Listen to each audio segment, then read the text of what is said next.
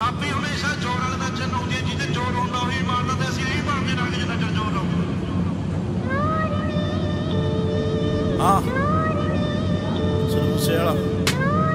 ਹਾਏ ਹਾਏ check check check